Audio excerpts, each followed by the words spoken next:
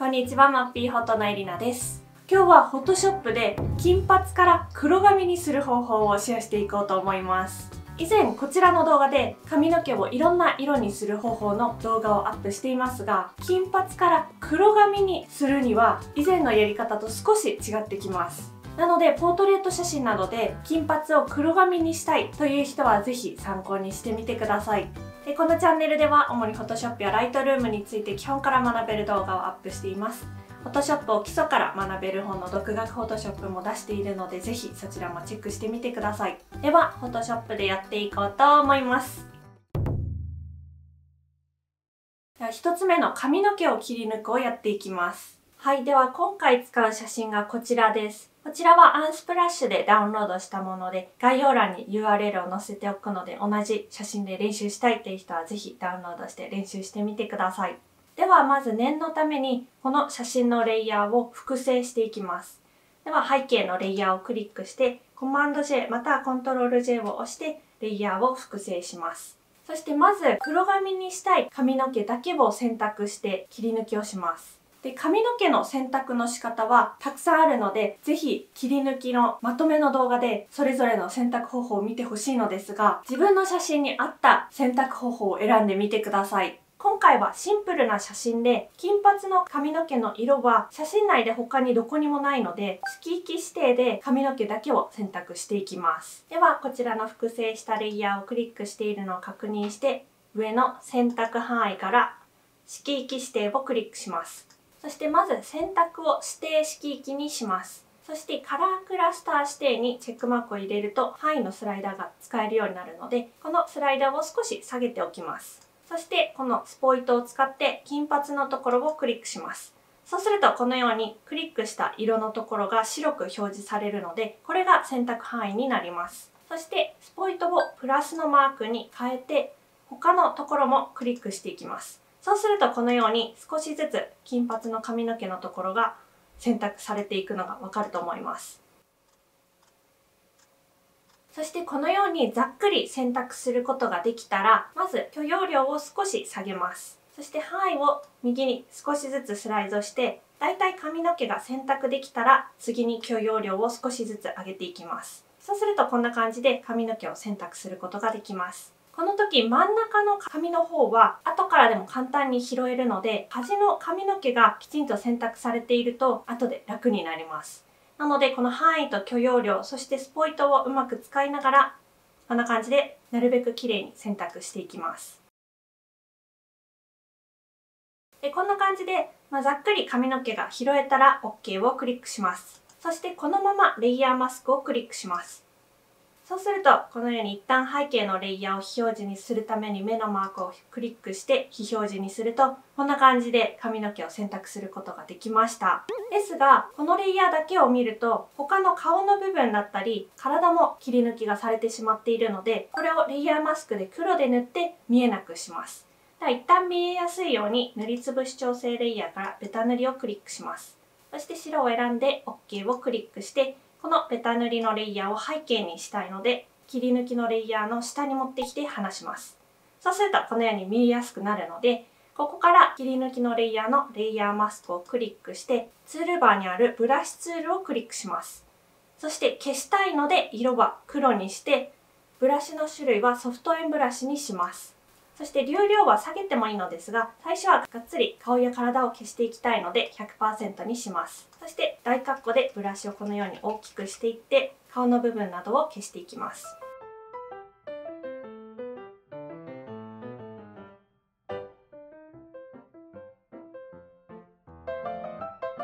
そして次に髪の毛の中の方を逆に選択していきたいので X を押して色を白にしていきますそして中の方をこのように塗っていきます。そうするともう髪の毛が確実にこんな感じで拾うことができます。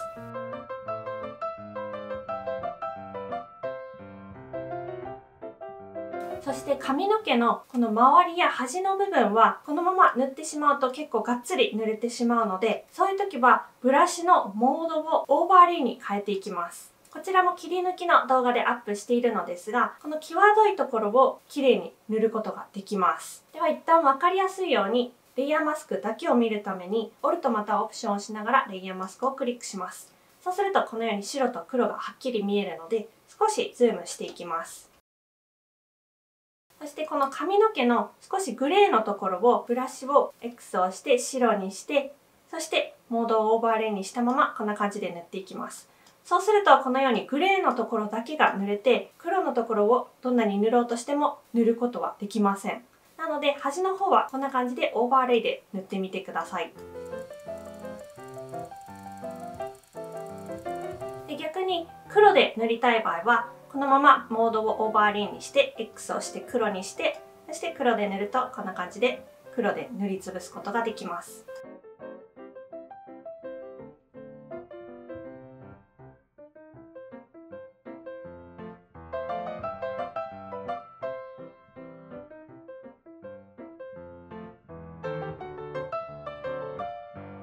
するとこんな感じで髪の毛だけを切り抜くことができました。ここは結構大変なところなのですが、綺麗に切り抜けば切り抜くほど結果は綺麗に仕上がるので、ぜひ丁寧にやってみてください。では、ベタ塗りのレイヤーはもう必要ないので、ベタ塗りのレイヤーをクリックしてゴミ箱に持ってきて離します。そして下の背景のレイヤーも見えるように目のマークをクリックして表示にします。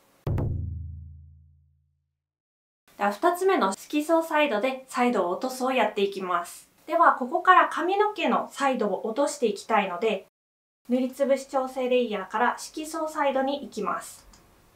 そしてその中にあるサイドのスライダーを左に動かしていきます。でこの時色相サイドの反映が写真全体に反映してしまうので先ほど切り抜いた髪の毛だけのレイヤーに反映させるためにクリッピングマスクしていきます。で、クリッピングマスクについてはこちらの動画でアップしていますが、下のレイヤーだけに反映させることができます。では、色相サイドの左下にある四角に矢印マークをクリックしてクリッピングマスクするか、あとまたはオプションまたはオルトを押しながらレイヤーとレイヤーの間にカーソルを持ってきて下矢印が出てきたらクリックします。そうするとクリッピングマスクすることができました。そして髪の毛のサイドも落とすことができました。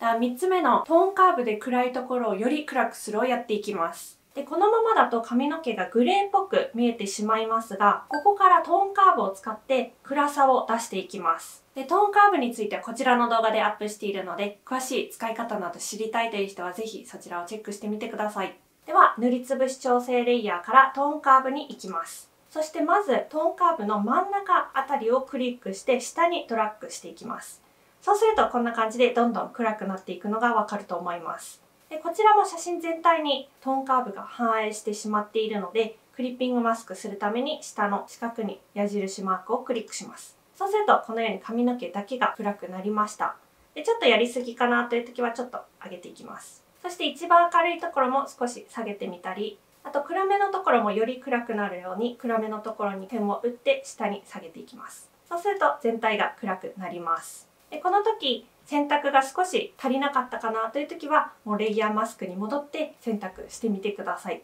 今回はこのままちょっと進めていきます。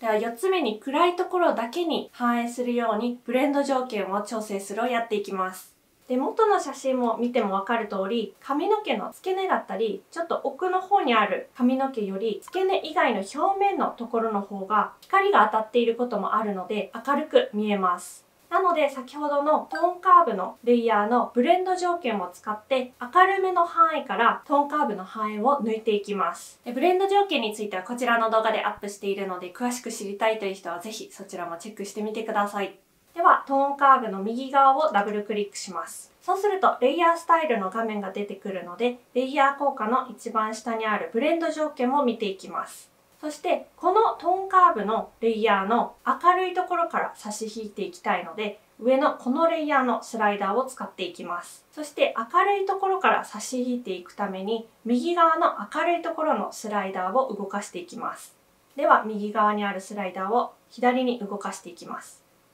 そうするとこのように明るいところからトーンカーブの反映がなくなっていくのがわかると思います。でこのままだと結構ガタガタしてしまっているのでこのスライダーを二手に分けて滑らかにしていきます。ではオプションまたはオルトを押しながらこのスライダーをクリックします。そうすると2つに分かれるので右にあるスライダーは右側にスライドしていって左にあるスライダーは好きなところにこんな感じで動かしていきます。そうするとこのように滑らかになって明るめのところだけが反射している感じに見えるのがわかると思います。ではこちらで OK をクリックします。そうするとこんな感じになりました。でトーンカーブでやった時の暗さがちょっと暗すぎるかなという時はトーンカーブに戻りたいのでトーンカーブのレイヤーの左側のアイコンをダブルクリックします。そして少し上げると暗さを調整できるのでこんな感じで調整してみてください。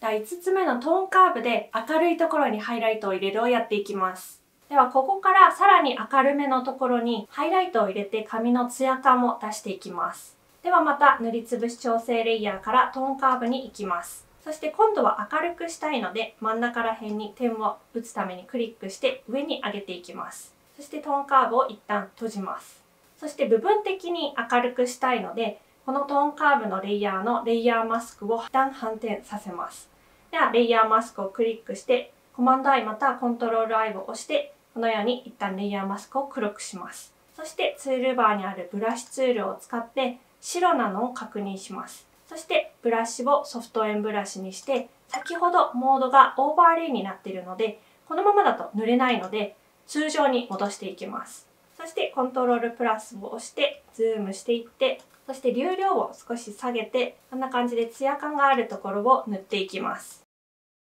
そうするとほんのりなのですがハイライトがこのように入ったのがわかると思います。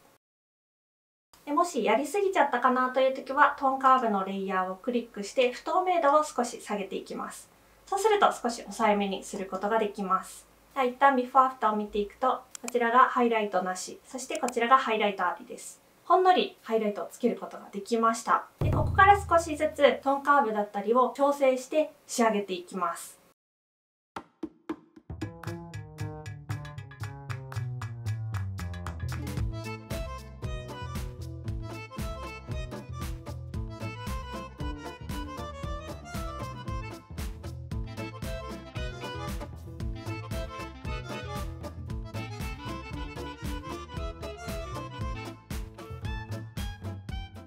はい、では全体のビフォーアフターを見ていこうと思います。こちらがビフォーで、こちらがアフターです。金髪から黒髪にすることができました。はい、今回は金髪から黒髪にする方法をシェアしてきました。まあ、色相彩度だけだと完璧な黒にはならないので、そこでトーンカーブで調整したりする必要があります。なので、これからポートレート写真で金髪から黒髪にしたいという時はぜひこのようにやってみてください。で今回は髪の毛だけのレタッチ方法を見てきましたが人物レタッチの動画は再生リストにまとめているので気になる人はぜひそちらもチェックしてみてください。Photoshop で金髪から黒髪にする方法分かったよという人はいいねとチャンネル登録をお願いします。見ていただきありがとうございました。また次回の動画でお会いしましょう。